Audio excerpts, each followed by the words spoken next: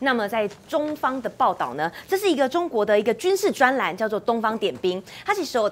提到，如果说中国大陆真的要武统的话，会面临四线作战。好，其实里面啊，我仔细的把它看完了。所谓的四线呢，就是第一台海的部分，好，包含了像东部战区，比如说台湾、日本、韩国啊、美国。另外呢，就是朝鲜半岛，就是北韩的部分，还有中国在南海部分，比如说菲律宾、还有澳洲，以及在中印边境的部分。啊，看完了，我帮大家直接做个总结啊。他意思就是说呢，有可能周边的国家会趁这个机会，新仇旧恨都上。好，如果说不论是哪一线，好，只要有开战的话呢，都会造，就是中国大陆必须要面临的一个一个状况啊。那舰长你怎么看呢？他这一项分析，他这个分析哦，要有两个前提，如果这两个前提都满足的话，就会出现四面作战。第一个就是说台海战争啊，武统啊，要打到像俄乌战争这样惨烈，这样不是惨烈。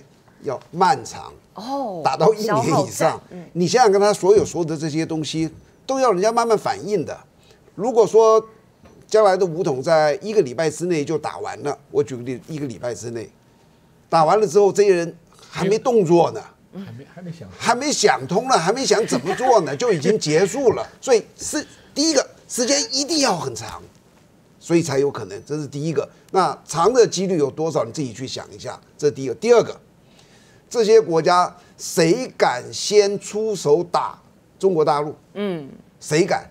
连美国都在担心中国大陆解放军的是这个在第一岛链里里面又制空又制海，这他们都怕。这些国家敢去先动手，也不太可能。所以两个前提是：第一，时间要拖得很长；第二，美国要带头打，哦，他们才会跟着打。否则这些小弟怎么会跟着打呢？谁敢？谁敢这样子？谁不要命啊？哦，原来是要这么这么样看的啊！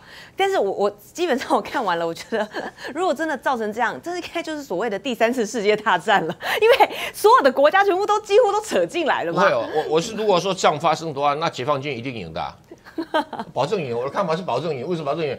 哎，北韩是有核弹哎，一打到核弹一爆发，大家都猛去管核弹，谁在管台湾啦？对不对？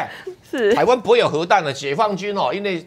同一个民族，我不可能用核弹嘛。嗯，就像普京的立场是说，我怎么可以用核弹打同样斯拉夫族？那以我在斯拉夫的历史上，我是什么？所以，尽管右派一直讲说你打基辅用核弹，他绝死也不肯用核弹啦。嗯，他只是说你北约来的时候，我用核弹打北约的军队啊。他只敢讲这样。所以我是觉得，如果北韩、朝鲜半岛发生战争，哎，金先生一定用核弹，你不用怀疑啊，我绝不怀疑他不用核弹。那那谁在管台湾战争啊？没人管啊。哦，再来第二个，南海，菲律宾菲律宾能干嘛？我我搞不懂，是舰长讲的菲律宾能干嘛？哎，你美国军舰来台海，就南海打成一团，也没有领土纠纷呐。打完了，你军舰还是要走啊，你补给打完你还得走啊。跟台海不一样啊，所以哦，所以你美军派军队去打南海，那你台海能介入吗？我搞不懂，那就有不解放军赢吗？中印边境。哎，那个是三千公尺以上的高山呢，你告诉我说印度能够做什么，对不对？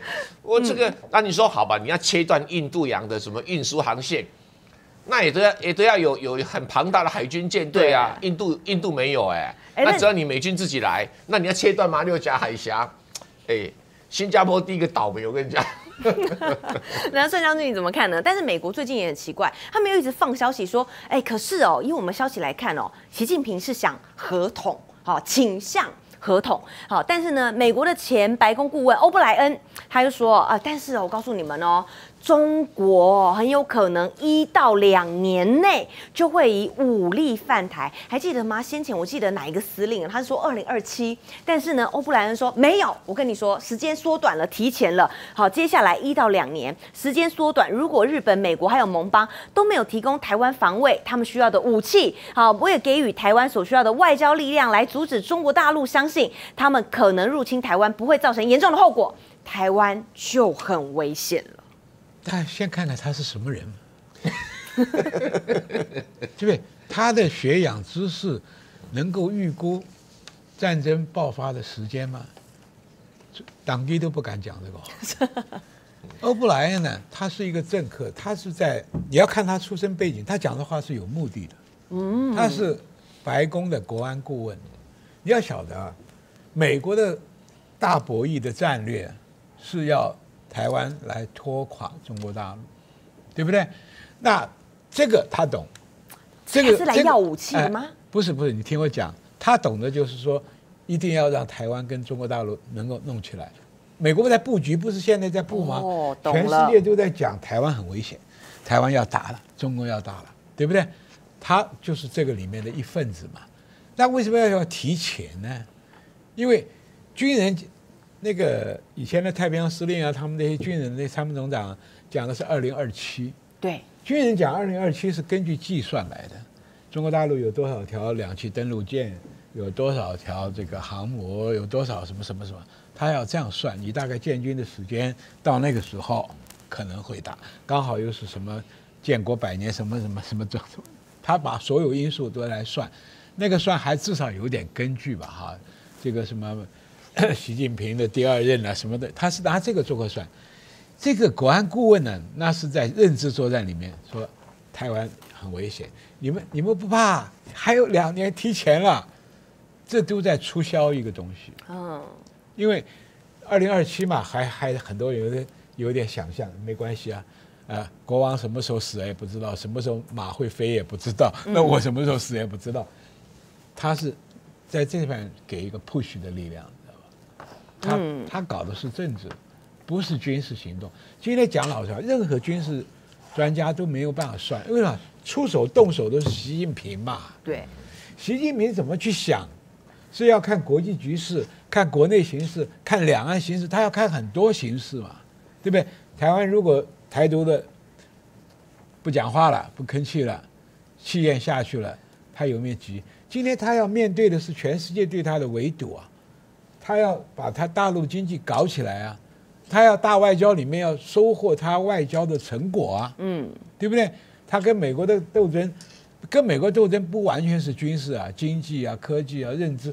所以他要看完很多因素，才决定要不要。而且台湾武统是不是第一优先呢？我不认为是第一优先嘛。所以这种态势也很多人看出来了嘛。美国也有人讲嘛，在中国大陆没有那么积极的要搞，还在搞和平统一嘛。嗯。那欧布莱恩是不是急了？还不赞同啊，而且提前了。对，很急。这种就是。政客讲的话，他说还有一到两年，那不就等于明年的意思？那明年就要开始了吧？他讲的是已经快一年多了。对，那那明年就要开干了嘛，对不对？那台湾正好啊，又在搞动员，又在搞那个警察也要拿枪，这都在配合这种叫做培养一个氛围了。哦，政治目的。我看蔡委员今天有发了一篇文，叫备战哈。好，那蔡委员，你你看分析一下，美国国家情报总监海恩斯。哎，他现任的讲的话，我们总可以听了吧？好，他说啊，台积电的代工，如果说两岸开战的话，哎，那台积电哦，如果没有办法生产的话，不得了，一年哦要损失一兆美元。你下载中天新闻网 App 了吗？我想和你分享一个下载中天新闻网 App 很重要的理由。专家说，美国要把台湾乌克兰化，用大陆打台湾来牵制大陆发展，这些绿媒不会告诉你，中天会。如果你不要战争，要和平，你需要正确而且权威的国际资讯和情势分析，请立刻下载中天新闻网 App，和我们一起守护台湾。多一个下载，就多一分力量。